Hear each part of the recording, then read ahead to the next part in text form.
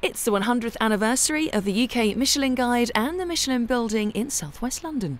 The centenary is very important to us because it's it's an important landmark. Um, it marks 100 years of development of the guide in this country um, and we've seen a huge increase in the quality of food over that period of time. Um, this year there are 143 stars which is the most we've ever had in the guide and it just reflects the, the rising standards we've been seeing over the last 25 or 30 years and additional to that it coincides with the, the, the centenary of Michelin House itself which is, is always inextricably linked with good food and fine dining. The Michelin Guide is the most famous food guide in the world.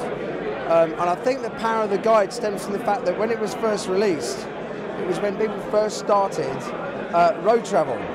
So the whole thing of one star meaning um, worth a stop, two meaning worth a detour, and three meaning worth a special trip meant an awful lot because in those days, you know, to get from one end of France to the other by car took you days. You could probably fly to Australia quicker than that. But there was no other guide at the time that attempted to do that. So it's got the tradition.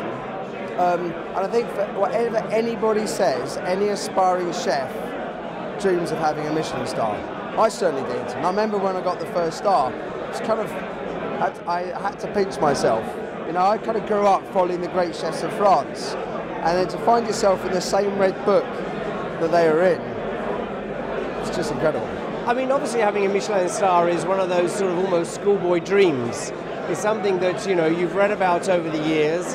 Of course, you hear about the Bocuse and the Gerard, uh, Verger, Troisgros, all of these great chefs um, who become legends.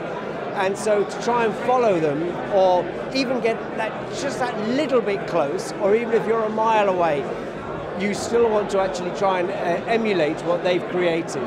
So uh, Michelin, I think, you know, when you're in this industry, it, it, can create the most amazing inspiration in a lot of young people. It's a positive, I think it's a positive thing. Um, that's a little surprise we got one, but um, a joy, a joy. I think having a Michelin star is vital. It, it really is for me anyway. It's very important. It's the uh, the, uh, the cherry on the cake, let's say, la cerise sur le gâteau. And uh, it proves that we are at a certain level. So be it a Bib Gourmand uh, or one star, two star or three star, it's something that uh, all chefs aspire to.